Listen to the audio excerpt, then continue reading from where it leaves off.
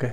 ಆತ್ಮೀಯರೇ, ನಮಸ್ಕಾರ. ನಾನು Devaraj Reddy, doctor N J Devaraj Reddy, ಅಂತರ್ಜಲ ತಜ್ಞ, ಚಿತ್ರದುರ್ಗದಲ್ಲಿ ಜಿಯೋ ರೈನ್ ವಾಟರ್ ಬೋರ್ಡ್ ಸಂಸ್ಥೆ ಮುಖ್ಯಸ್ಥ. ಆತ್ಮೀಯರೇ, ನಮ್ಮ ಯೂಟ್ಯೂಬ್ ಚಾನಲ್ಗೆ ತಮಗೆಲ್ಲ ಸ್ವಾಗತ. ನಮ್ಮ ಯೂಟ್ಯೂಬ್ ಚಾನಲನ್ನು ಲೈಕ್ ಮಾಡೋದು, ಶೇರ್ ಮಾಡೋದು, ಸಬ್ಸ್ಕ್ರೈಬ್ ಮಾಡೋದನ್ನ ಮರಿಬೇಡಿ. ಇವತ್ತು ವಿಷಯ ಏನಪ್ಪ ಅಂತಂದರೆ ಬೋರ್ವೆಲ್ ಕೊಳವೆ ಬಾವಿಯನ್ನು ಕೊರೆಸಿ ಕುಡಿಲಿಕ್ಕಾಗ್ಬೋದು, ಕೈಗಾರಿಕೆ ಆಗ್ಬೋದು, ಬೇರೆ ಬೇರೆ ಬಳಕೆ ಬಳಕೆ ಮಾಡುವಂಥವ್ರದ್ದು ಒಂದಷ್ಟು ಸಮಸ್ಯೆಗಳು ನನಗೆ ಬರ್ತಾ ಉಂಟು. ಏನಪ್ಪ ಅಂತಂದರೆ ಸಣ್ಣ ಬೋರ್ಲ್ ಹಾಕಿದ್ದೇವೆ ತುಂಬ ವರ್ಷಗಳಾಯಿತು. ನೀರು ಬರ್ತಾ ಇದೆ ನೀರಿನ ಸಮಸ್ಯೆ ಇಲ್ಲ. ಆದರೆ ನೀರಿನಲ್ಲಿ ಸಿಲ್ಟ್ ಬರ್ತಾ ಇದೆ. ನನ್ನ ಬೋರ್ಲಿಗೆ ಸಮಸ್ಯೆ ಆಗ್ತಾ ಇದೆ ಪಂಪು ಬ್ಲಾಕ್ ಇದೆ ವೈಂಡಿಂಗ್ ಎಲೆಕ್ಟ್ರಿಕಲ್ ಸಮಸ್ಯೆ ಬರ್ತಾ ಮ್, ಇಂಥದ್ದೆಲ್ಲ ಸಮಸ್ಯೆಗಳಿಗೆ ಪರಿಹಾರಗಳಿದೆ. ಕೆಲವರು ಅದೊಂದು ದೊಡ್ಡ ಬೂತ್ ಥರ ಯೋಚನೆ ಮಾಡೋದು ಬೇಡ. ಇಂತಹ ಕೊಳವೆ ಬಾವಿಯಲ್ಲಿ ಸಿಲ್ಟಿನ ಸಮಸ್ಯೆ ಮಣ್ಣಿನ ಸಮಸ್ಯೆ ಇಂಥ ಎಲ್ಲದಕ್ಕೂ ಪರಿಹಾರಗಳನ್ನ ನಾನು ಕೊಡ್ತೀನಿ. ನಮ್ಮ ಯೂಟ್ಯೂಬ್ ಚಾನಲಲ್ಲಿ ಈ ವಿಡಿಯೋ ಸಮೇತ ನಿಮಗೆ ಎಕ್ಸ್ಪ್ಲೇನ್ ಮಾಡ್ತಾ ಹೋಗ್ತೀನಿ. ನಾನು ಅಂತರ್ಜಲ ತಜ್ಞನಾಗಿ ದಿನನಿತ್ಯ ಸಾಕಷ್ಟು ರಾಜ್ಯದ ನೀರಿನ ಸಮಸ್ಯೆ ಬಗ್ಗೆ ಸಾಕಷ್ಟು ಫೋನ್ ಕಾಲ್ಗಳನ್ನು ರಿಸೀವ್ ಮಾಡ್ತಾ ಇರ್ತೇನೆ. ಫೋನಲ್ಲಿ ಎಲ್ಲರೂ ಜನರ ಸಮಸ್ಯೆಗಳನ್ನು ಹೇಳ್ಕೊಂತ ಹೋಗ್ತಾರೆ. ಸರ್, ನಮ್ಮ ಬೋರ್ವೆಲ್ ಇದೆ, ಈ ಥರ ಸಮಸ್ಯೆ, ಈ ಥರ ಸಮಸ್ಯೆ ಅಂತೇಳಿ. ಇವತ್ತಿನ ವಿಷಯ ಏನಂತಂದರೆ, ನಾವು ಕೊಳವೆ ಬಾವಿಗಳನ್ನು ಕೊರೆದಿದ್ದೇವೆ. ಅಂತರ್ಜಲವನ್ನು ಹೊರಗೆ ತೆಗಿತಾ ಇದ್ದೇವೆ ಭೂಮಿಯ ಒಳಗೆ ಇರುವಂತಹ ಅಂತರ್ಜಲ ಸಾವಿರಾರು ವರ್ಷಗಳ ಹಿಂದಿನ ನೀರು. ಈ ನೀರನ್ನು ತೆಗೆಯುವಾಗ ನಮಗೆ ಗೊತ್ತಿದೆ, ಬೋರ್ವೆಲ್ ಹಾಕಿ ಬೋರ್ವೆಲಿಂದ ನೀರು ಬರುವಂಥ ಸಂದರ್ಭದಲ್ಲಿ ಭೂಮಿಯಲ್ಲಿ ಏನಿದೆ, ಅದು ಅಲ್ಲಿರುವಂತಹ ಕೆಂಪು ಮಣ್ಣಿನ ಮಿಶ್ರಿತ ನೀರಾಗ್ಬೋದು ಬಣ್ಣದ ನೀರಾಗ್ಬೋದು, ಕಪ್ಪು ನೀರಾಗ್ಬೋದು, ಯಾವುದೇ ಥರದ ನೀರನ್ನು ಹೊರಗೆ ಬರಲಿಕ್ಕೆ ಬೋರ್ವೆಲ್ಲಿಂದ ತೆಗಿಲಿಕ್ಕೆ ಸಾಧ್ಯತೆ ಇದೆ. ಆದರೆ ಇವತ್ತಿನ ಏನು ವಿಷಯ ಏನಂತಂದರೆ ನಾವು ಕೊಳವೆ ಬಾವಿಗಳನ್ನು ಕೊರೆಯುವ ಪ್ರಾರಂಭಿಕ ಹಂತದಲ್ಲಿ ನಾವೆಲ್ಲ ಏನು ಮಾಡ್ತೀವಿ ಅಂದರೆ ಬೋರ್ವೆಲ್ ಹಾಕ್ತೀವಿ. ಬೋರ್ವೆಲ್ ಹಾಕುವಾಗ ಫಸ್ಟು ಕೇಸಿಂಗ್ ಪೈಪನ್ನು ಹಾಕ್ತೀವಿ. ಕೇಸಿಂಗ್ ಪೈಪ್ ಎಲ್ಲಿವರೆಗೂ ಹಾಕ್ತೀವಿ ಅಂದರೆ ಗಟ್ಟಿ ಶಿಲಾಪದರದವರೆಗೂ ಹಾಕ್ತೀವಿ. ಅಲ್ಲಿಂದ ಕೆಳಗೆ ನಾವು ಕೇಸಿಂಗ್ ಪೈಪ್ ಹಾಕಿದ ಮೇಲೆ ಭೂಮಿ ಏನಾದರೂ ವೀಕಿದ್ರೆ ಈ ಥರ ಸಿ ಫಿಲ್ಟರ್ ಪೈಪ್ ಅಂತ ಹೇಳ್ತೀವಿ. ಸ್ಕ್ರೀನ್ ಪೈಪ್ ಫಿಲ್ಟರ್ ಪೈಪ್ ಅಂತ ಕರಿತೀವಿ. ಭೂಮಿಯ ಒಳಗೆ ಮಣ್ಣಿನ ಪದರಗಳು ಎಲ್ಲಿವರೆಗೂ ಲೂಸ್ ಇದೆ, ಅಲ್ಲಿವರೆಗೂ ಫಿಲ್ಟರ್ ಪೈಪ್ ಹಾಕಿದರೆ ನಮ್ಮ ಕೊಳವೆ ಬಾವಿ ಸುರಕ್ಷಿತವಾಗಿರಲಿಕ್ಕೆ ಸಾಧ್ಯತೆ ಇದೆ. ಇದು ಒಂದು ಬೋರ್ವೆಲ್ ಬಗ್ಗೆ. ಅದಕ್ಕೆ ನಾನು ಪ್ರತಿ ಸರಿ ಹೇಳುವಾಗ ಮೇಲೆ ಮಣ್ಣಿನ ವಲಯ, ಶಿಥಿಲವಾದ ವಲಯ ಟೊಳ್ಳು ಪದರ ವಲಯ ಅಂತ ಹೇಳ್ತಾ ಹೋಗ್ತೀನಿ.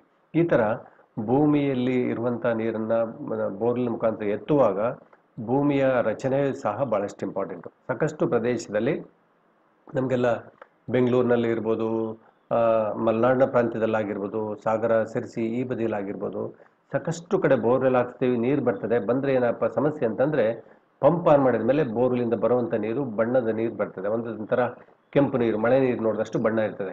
ಇಂತಹ ಸಂದರ್ಭದಲ್ಲಿ ನಮ್ಮ ಬೋರ್ವೆಲ್ಗೆ ಸಿಲ್ಟಿನ ಸಮಸ್ಯೆ ಬರಬಾರ್ದು ಅಂತಂದ್ರೆ ಏನು ಮಾಡಬೇಕು ಅಂತಂದರೆ ನಮ್ಮ ಪ್ರತಿ ಪ್ರತಿಯೊಬ್ಬರು ಬೋರ್ವೆಲ್ ಹಾಕುವಾಗ ಬೋರ್ವೆಲ್ನ ಡ್ರಿಲ್ ಮಾಡುವ ಸಂದರ್ಭದಲ್ಲಿ ಬೋರ್ವೆಲ್ನವ್ರಿಗೆ ಡಿಮ್ಯಾಂಡ್ ಮಾಡಿ ನಾವು extra filter pipe, screen pipe, jacket pipe ಅಂತ ಸಹ ಹೇಳ್ಬೋದು. ಈ ಥರ ಕೇಸಿಂಗ್ ಪೈಪ್ ಒಳಗೆ ನಾವು ಹಾಕ್ತಾ ಹೋದ್ರೆ ಏನಾಗ್ತದೆ? ಈ ಚಿತ್ರದಲ್ಲಿ ಕಾಣುವ ಹಾಗೆ ನೀರು ಬಣ್ಣದ ನೀರು ಬರ್ತಾ ಇದೆ. ಈ ಥರ ಬಣ್ಣದ ನೀರು ಬರೋದ್ರಿಂದ ಸಮಸ್ಯೆ ಏನು ಇದು ಕೃಷಿಗೂ ಕಷ್ಟ, ಮತ್ತು ಪಂಪ್ಗೂ ಕಷ್ಟ. ಪಂಪು ಸಹ ಕೆಲವೇ ವರ್ಷಗಳಲ್ಲಿ, ಕೆಲವೇ ದಿನಗಳಲ್ಲಿ ಮೋಟ್ರು ಸಹ ವೈಂಡಿಂಗ್ ಎಲ್ಲ ಹೋಗುತ್ತೆ. ಪಂಪ್ ಎಲ್ಲ ಜಾಮ್ ಆಗುತ್ತೆ. ಎಲ್ಲದಕ್ಕಿಂತಲೂ ಬೋರ್ವೆಲ್ಲೇ ಸಿಲ್ಟಪ್ ಆಗುತ್ತೆ. ನಾವು ಐದುನೂರು ಅಡಿ ಬೋರ್ವೆಲ್ ಕೊರ್ಸಿದ್ರೆ ಒಂದೆರಡು ತಿಂಗಳಲ್ಲಿ ಬೋರ್ವೆಲ್ ಫಿಫ್ಟಿ ಪರ್ಸೆಂಟ್ ಮಡ್ ಮಣ್ಣು ತುಂಬೋದು. ಹಾಗಾಗಿ ಇಂಥವೆಲ್ಲ ಸಮಸ್ಯೆಗಳು ಬರುವಾಗ ನಮಗೆ ಈ ನೀರಿನ ಬಣ್ಣನೇ ಗೊತ್ತಾಗುತ್ತೆ. ಫಿಫ್ಟಿ ಪರ್ಸೆಂಟ್ ಮಣ್ಣು ಬರ್ತಾ ಇದೆ ಭೂಮಿಯಲ್ಲಿರುವಂಥ ಮಣ್ಣು. ಹಾಗಾಗಿ ಆಯಾ ಪ್ರದೇಶದಲ್ಲಿ ಭೂಮಿ ಎಷ್ಟು ಗಟ್ಟಿ ಇದೆ ಟೊಳ್ಳಿದೆ ವೀಕ್ ಇದೆ, ಅದಕ್ಕೆ ಅನುಗುಣವಾಗಿ ಕೊಳವೆ ಬಾವಿಯಿಂದ ಬರುವಂಥ ನೀರನ್ನ ತೆಗಿಬೇಕಾದ್ರೆ ಇಂಥ ಸಮಸ್ಯೆಗಳನ್ನು ನಾವು ಫೇಸ್ ಮಾಡುವ ಸಂದರ್ಭದಲ್ಲಿ ನಮ್ಮ ಕೊಳವೆ ಬಾವಿಗಳು ಡ್ರಿಲ್ ಮಾಡುವ ಸಂದರ್ಭದಲ್ಲಿ ನಾವೆಲ್ಲ ವೈಜ್ಞಾನಿಕವಾಗಿ ನಮ್ಮ ನಮ್ಮ ಕೊಳವೆ ಬಾವಿಗಳಿಗೆ ಫಿಲ್ಟರ್ ಪೈಪನ್ನು ಹಾಕೋದ್ರಿಂದ ಈ ಸಮಸ್ಯೆಗೆ ಪರಿಹಾರಗಳನ್ನು ನಾವು ಕಂಡುಹಿಡ್ಕೋಬಹುದು. ಇದು ಒಂದು ವೇ.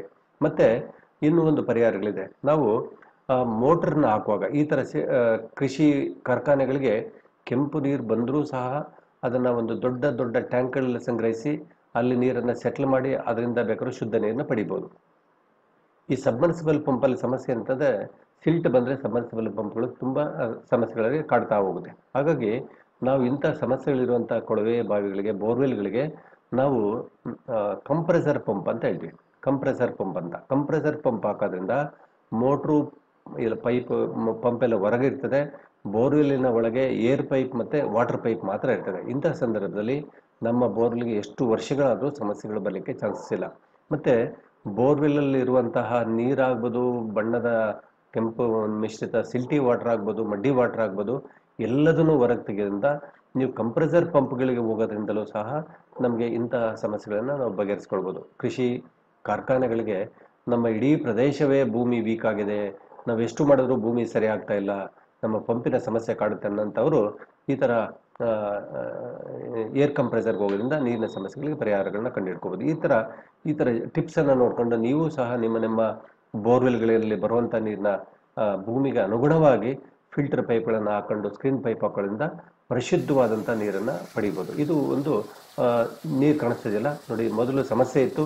ನಾವೀಗ ಫಿಲ್ಟರ್ ಪೈಪ್ ಹಾಕಿದ್ಮೇಲೆ ನೀರು ಎಷ್ಟು ಕ್ರಿಸ್ಟಲ್ ಕ್ಲಿಯರ್, ಪರಿಶುದ್ಧವಾದ ನೀರು ಬರ್ತಾ ಇದೆ. ಇದು ಸರಳವಾಗಿ ಪ್ರತಿಯೊಬ್ಬರು ಮಾಡುವಂಥ ವಿಧ ಆತ್ಮೀಯರು ಇಷ್ಟೊತ್ತು ನೋಡಿದ್ರಿ ನಮ್ಮ ಈ ಯೂಟ್ಯೂಬ್ ಚಾನಲಲ್ಲಿ ನೋಡಿ ನೋಡಿದ್ರಲ್ಲ? ನಮ್ಮ ಬೋರ್ವೆಲ್ ಕೊರೆಸಿ ಸಿಲ್ಟ್ ಬರ್ತಾ ಇದೆ, ನೀರು ಬಣ್ಣ ಬರ್ತಾ ಇದೆ, ಕೆಂಪು ಬರ್ತಾ ಇದೆ, ಇನ್ನೊಂದು ಥರ ಬಣ್ಣ ಬರ್ತಾ ಇದೆ. ಪಂಪಿನ ಸಮಸ್ಯೆಗಳಿಗೆ ಖಂಡಿತ ಇದ್ಯಾವುದೂ ಸಮಸ್ಯೆಗಳಲ್ಲ, ಎಲ್ಲದಕ್ಕೂ ಪರಿಹಾರ ಇದೆ. ಈಗ ಇಳಿದಂಗೆ ಇದೆಲ್ಲ ಟಿಪ್ಸನ್ನು ನೀವು ಗಮನಿಸಿದ್ದೇ ಆದರೆ ನಿಮ್ಮ ನಿಮ್ಮ ಬೋರ್ವೆಲ್ಗಳಲ್ಲಿ ಇಂತಹ ಸಿಲ್ಟಿನ ಸಮಸ್ಯೆ ಇರೋದಕ್ಕೆ ಇದೊಂದು ಸರಳವಾದಂಥ ಪರಿಹಾರ.